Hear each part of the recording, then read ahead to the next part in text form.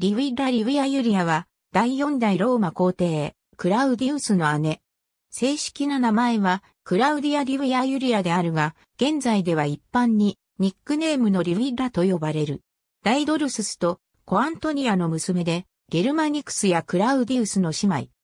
大ドルススは、リウィア・ドルシルッタとティベリウス・クラウディウス・ネロの息子で、アウグストゥスの継子であり、ショー・アントニアは、アウグストゥスの姉ショー・オクタウィアとマルクス・アントニウスの娘であって、リウィッラは母方からアウグストゥスの血脈に属している。リウィッラは他のユリウス・クラウディウス朝の女性たちと同様に原子化の安定のために婚姻を行っている。紀元前1年にマルクス・ウィプサニウス・アグリッパとアウグストゥスの娘ユリアの息子ガイウス・カエサルと最初の結婚を行う。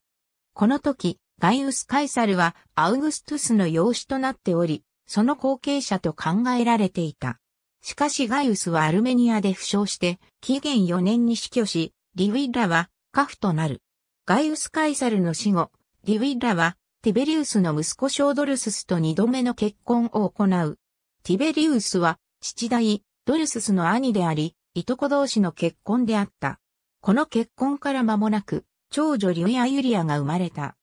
14年にアウグストゥスが逝去すると、シュート・ティベリウスが元首に就任し、オット・ドルスはその後継者候補となる。その後リウィッラは夫がパンノニアに派遣された際に、これに同行している。19年にティベリウス・ゲメルスとゲルマニクス・ゲメルスの双子を出産。同年に兄ゲルマニクスがシリアで急死する。これにより夫、ドルススの後継者としての地位は確定的なものとなった。20年には娘、リヴィア・ユリアがそのゲルマニクスの維持ネロ・カエサルと結婚した。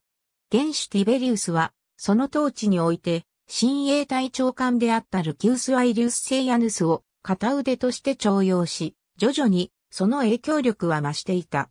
こうしたセイアヌスの徴用を後継者ドルススは快く思わず、同様にセイアヌスもドルススの存在を疎ましく感じていた。野心家であったセイアヌスは、自らの牽制を拡大するためリウィッラに近づき、不倫な関係を結びドルスス排除に対する自らの協力者とした。この関係を強固なものにするため、セイアヌスはリウィッラの求めに応じて、妻アピカタと離婚し、ドルススの死後の結婚を約束した。こうして、紀元23年毒薬を慎重に用い、病死を装ってドルススは暗殺された。ドルススの守護聖ヤヌスの勢力は増大し、新たな後継者候補であったゲルマニクスの維持であるネロカエサル、ドルススカイサルとその母代、アグリッピナの勢力を牽制するようにもなっていった。さらにカフとなったリウィッラとの結婚をティベリウスに求めたが、騎士階級の身分でしかなかったセイアヌスのこの身分、不相応の結婚の求めは退けられた。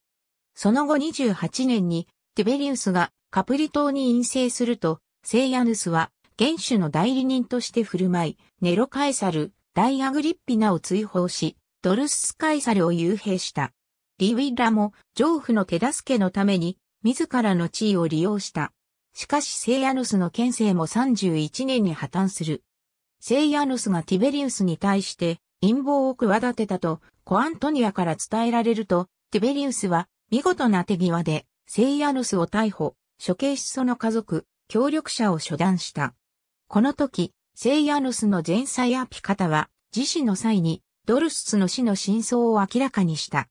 ドルスツ暗殺への関与を知られたリウィルッタは、ティベリウス、または母、アントニアの命令で餓死によって命を絶った。ありがとうございます。